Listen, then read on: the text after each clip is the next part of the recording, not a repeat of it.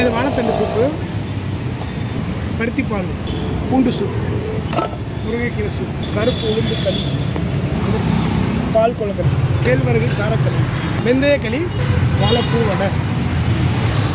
இது உப்பு உருண்டை. சால்ட்டு கொழுக்கட்டைன்னு சொல்லுவாங்க. இது சிறுதானியத்தில் பண்ணுறது இலை அப்படின்னு சொல்லுவாங்க. அப்படி இல்லை அப்படின்னா வாழை இலை கொழுக்கட்டை ஃப்ரை, பெப்பர் ஃப்ரை வாழைப்பூ பிரியாணி. காளான் மசாலா பேபிகான் மசாலா.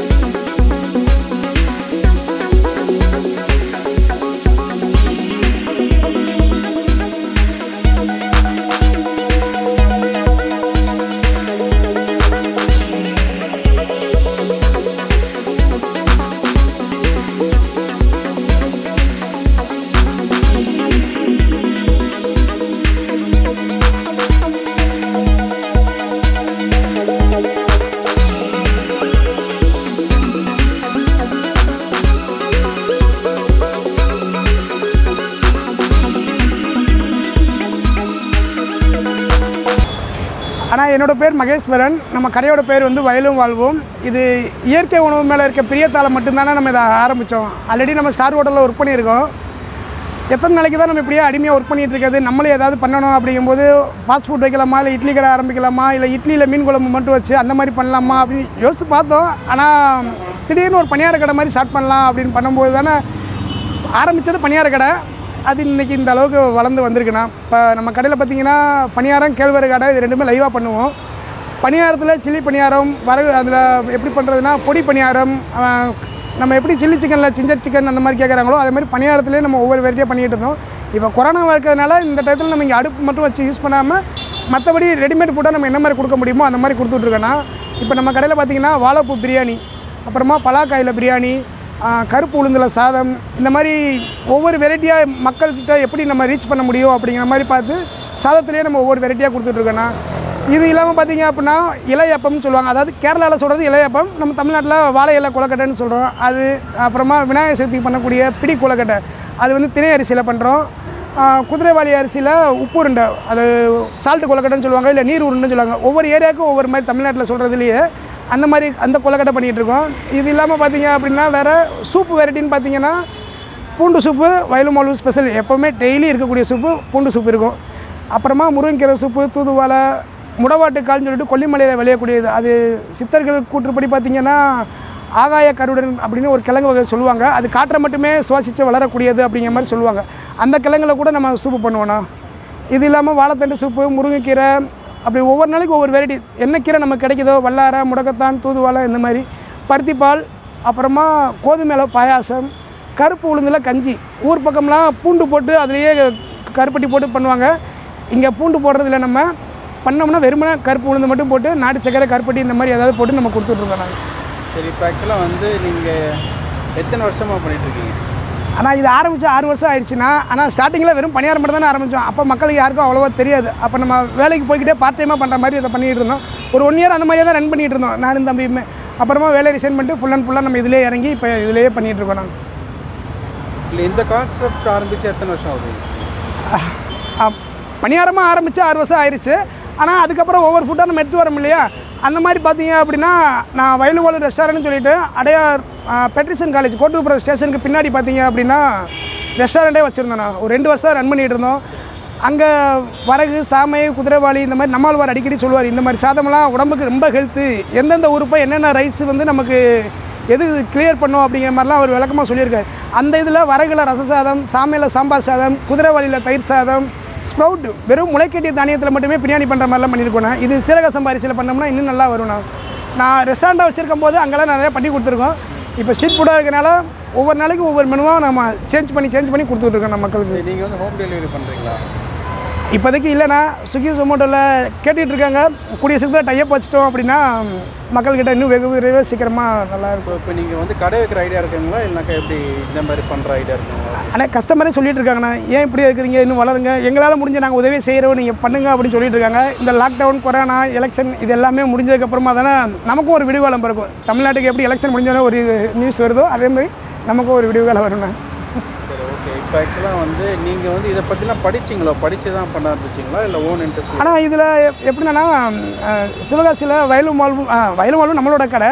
அப்புறமா அப்புறமா தாய்வழி இயற்கை உணவகம்னு சொல்லிட்டு சிவகாசியில் மாரன்ஜின்னு ஒருத்தர் இருக்காரு. அவர் வந்து நம்மாழ்வாரோட அடிக்கடி க்ளோஸில் இருந்தவர் ஃப்ரெண்டு நம்மாழ்வார் ஐயா சிவகாசிக்கே வந்துட்டு போயிருக்காரு.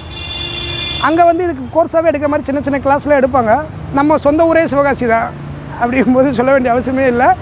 அம்மாவோட கைப்பக்குவம் நம்ம வீட்டில் வீட்டில் சும்மா இருக்கும்போதே தோசை ஏதாவது செஞ்சால் கூட வெரைட்டி ஏதாவது செஞ்சு சாப்பிடணும்னு ஆசைப்படுறோம் அதனால தான் கேட்டரிங் படிக்கணும்னு ஆசைப்பட்டே நான் கேட்டரிங் வந்தது என்ன. ஸோ வந்து நீங்கள் வந்து டோட்டலாக அந்த தொழிலில் வந்து எத்தனை வருஷமா இருக்கீங்க? பதினாறு வருஷம் ஆயிடுச்சு நான் எக்ஸ்பீரியன்ஸ் மட்டுமே பதினாறு பதினேழு வருஷம் ஆகுது. ரெண்டாயிரத்தி நாலு அஞ்சில் முடித்தேண்ணா ஸோ இப்போ வந்து உங்கள் கடையில் வந்து ஜாஸ்தி போகிற டிஷ்ஷஸ்னால் எது சொல்லுவீங்க? உளுந்தங்களி பூண்டு சூப்பு அவ்வளோதான் பிரியாணி பிரியாணி. பிரியாணி போகும்னா யாராக இருந்தாலும் அடித்தட்டு மக்கள்லேருந்து மேல்தட்டு மக்கள் வரைக்கும் எல்லாருமே சாப்பிட்டு பார்க்குறது எப்படின்னா உளுந்தங்களி பூண்டு சூப்பு. பிரியாணி சாப்பிட்றாங்க இல்லைன்னு சொல்லலை. ஆனால் யார் வந்தவொடனே வயலுமாலும் ஸ்பெஷல் நம்ம சொல்கிறோம் இல்லையா? எடுத்துக்காட்டுற என்ன சொல்லணும் அப்படின்னா பூண்டு சூப்பு உளுந்தங்களியும் சொல்லலாம்.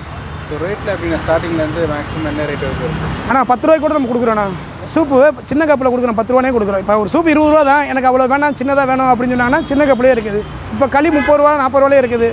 அதுக்கேற்ற மாதிரி அவங்க எனக்கு அவ்வளோ வேணாம் சின்ன கப்பில் கூட அப்படின்னா ஆஃப் ரேட்டில் என்ன இருக்கோ நம்ம அதே மாதிரியே கொடுத்துறோம் நான் ஸோ வந்து களியோட பெனிஃபிட் என்னென்ன அப்படி ஆனால் கே தானியங்களே மிக மிக சிறந்ததுன்னு பார்த்தீங்கன்னா கேழ்வரகுண்ணா அதாவது நம்ம ஆடி மாதம் பார்த்தீங்கன்னா கூழ் கரைச்சி கொடுக்குறாங்களா நம்ம அப்போ மட்டுமே சாப்பிட்ற மாதிரி அந்த ஃபுட்டு கிடையாது. வெயில் அதில் கூழ் மட்டுமே குடிக்கிறோம். அது இல்லாமல் கேழ்வரகுல மட்டுமே ஏகப்பட்ட டிஷ் நம்ம பண்ணலாம்ண்ணா எல்லாருக்கும் தெரிஞ்சது என்ன? கூழு களி இது மட்டும்தான் இருக்குண்ணா கேழ்வரகு இட்லி செஞ்சு சாப்பிட்லாம் தோசை செஞ்சு சாப்பிட்றோம். இன்னும் அதில் சிமிலின்னு சொல்லிட்டு ஆற்காடு ஆரணி பக்கம் பார்த்தீங்கன்னா ஸ்வீட் பண்ணுவாங்க. சிமிலின்னு சொல்லிட்டு ஒரு ஸ்வீட்டே பண்ணுவாங்கண்ணா அது இப்போ நமக்கு மேன் பவர் இல்லாதனால நம்ம அது பண்ணலை. அந்த மாதிரி கேழ்வரை வந்து அவ்வளோ சிறந்தது நான். இது கம்பில் கம்பு லட்டு பண்ணிக்கிட்டு இருந்தோம் நம்ம. சோள தோசை பண்ணுவோம். கா காஞ்சிபுரம் இட்லி பார்த்தீங்கன்னா அதில் உளுந்து மட்டும் போட்டு கருப்பு உளுந்து மிக்ஸ் பண்ணி அந்த மாதிரி அது வெறும் மந்தார இலையில மட்டுமே வச்சு அவிச்சு எடுத்து நம்ம அவ்வளோ அழகாக சாப்பிட்லாம் அந்த இது சொல்கிறதுக்கே சூப்பராக இருக்கும். டேஸ்ட் அந்த அருமை அருமையாக இருக்கும். களி வந்து இப்போ சம்மர் சீசன் இருக்கனால உளுந்தங்களி வெந்தயக்களி பூண்டு சூப்பு இது வந்து கம் கன்ஃபார்மாக இருக்குதும். பருத்தி பாலுக்கு பதிலாக எப்போயாவது மெனு மாறணும் அதுக்கு பதிலாக கோதுமை பாயாசம் கோதுமை பாயாசம் அப்படி இல்லை அப்படின்னா கருப்பு உளுந்துல கஞ்சி இந்த மாதிரி ஏதோ ஒரு நாள் மெனு மாறும். சூப்பு நான் முன்னாடியே சொன்ன மாதிரி தானே ஒவ்வொரு நாளைக்கு ஒவ்வொரு சூப் வெரைட்டி மாறுற மாதிரி மாறிட்டு இருக்கும். பிரியாணியும் அதே மாதிரி தான். ஒரு நாள் வாழைப்பூ பிரியாணி பண்ணோம்னா அடுத்த நாள் பலாக்காய் பிரியாணி அடுத்த நாள் கருப்பு உளுந்து சாதம். இன்னும் வேறு என்ன மாதிரி மக்கள்கிட்ட கொடுக்கலாம் அப்படிங்கிறத யோசிச்சுட்டு இருக்கோம். கூடிய சீக்கிரத்தில் அதையே நம்ம மக்கள்கிட்ட கொண்டு போய் சேர்ப்போம். ஆனால் வந்து பியூர் வந்து வெஜ் மட்டும் பியூர் வெஜிடேரியன் நான்வெஜ் சாப்பிட்றதும் இல்லை. டைமிங்ஸ் எப்படி? சாயங்காலம் சிக்ஸ் டு டென் இப்போ கொரோனா காலத்தில் இருக்கிறதுனால சீக்கிரம் இப்போ அஞ்சு மணிக்கு வந்துடுறோம். ஃபைவ் டு எயிட் எயிட் தேர்ட்டிக்கு எடுத்து இருக்கு ஸோ வந்து மார்னிங் மதியானம்லாம் அவைலபிள் கிடையாதா? இல்லைண்ணா.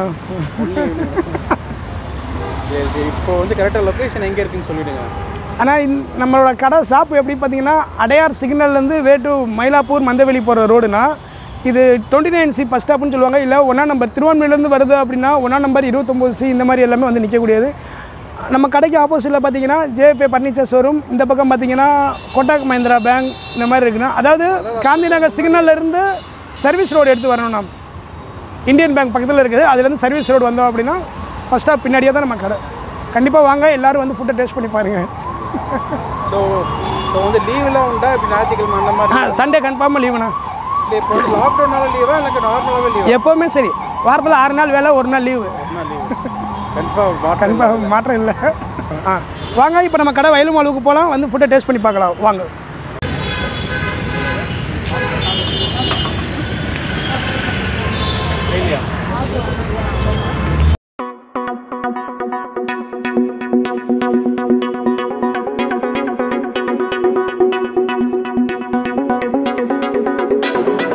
இதுதான் வந்து உப்பு கொழுக்கட்டை. அவர் சொன்னது கடையில் பார்த்தீங்கன்னா செம்ம ரஷ்ஷு அதனால் நான் பார்சல் வாங்கிட்டு வந்துட்டேன். டேஸ்ட் பண்ணி பார்த்துட்டு உங்கள்கிட்ட சொல்லலாம் அப்படின்னு. ஸோ உப்பு கொழுக்கட்டை எப்படி இருக்கும் இப்போ தான் நான் ஃபஸ்ட் டைம் எக்ஸ்ட்ரா டேஸ்ட் பண்ண போகிறேன் லைக் உப்பு கொழுக்கட்டை வந்து ஒரு நம்ம வந்து வீட்டிலலாம் செய்கிற மாதிரி தான் இருக்குது வாழை இலை கொழுக்கட்டை.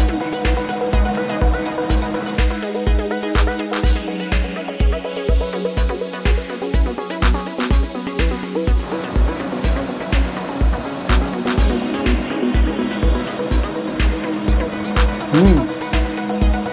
உள்ளே ஃபுல்லாக வெள்ளம். இந்த என்ன சொல்லி விநாயகர் சதுர்த்திக்கு பண்ணுவாங்க பார்த்தீங்களா கொழுக்கட்டை. அதே மாதிரி டேஸ்ட்டு இதை வந்து கறி மாதிரி ஏதோ பண்ணியிருக்காங்க.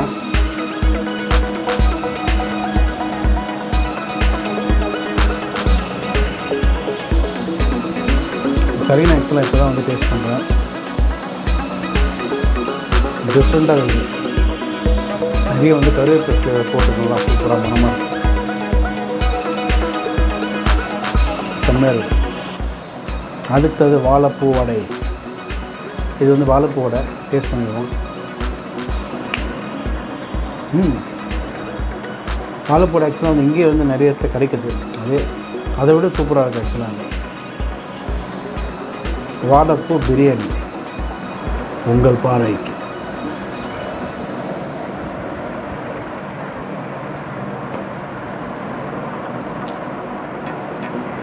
ரொம்ப மசாலா இல்லாமல் காரமும் இல்லாமல் சூப்பராக இருக்கும்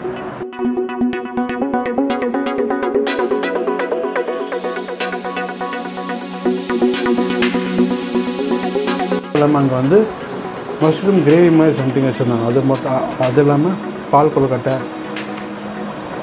அப்புறம் வந்து நாலு வகையான ஸ்வீட்டு எக்கச்சக்க விஷயம் வச்சுருக்காங்க. நீங்கள் போனீங்கன்னா சீக்கிரம் போயிடுங்க சீக்கிரமாக போயிடுங்க. லிங்க் நான் வந்து டிஸ்கிரிப்ஷனில் போடுறேன். அட்ரஸும் போடுறேன். ட்ரை பண்ணி பாருங்கள் ட்ரை பண்ணி பார்த்துட்டு எப்படி இருக்குன்னு எனக்கு கமெண்ட்டு சொல்லுங்கள் I will see next video until then செய்யும் பாய் bye.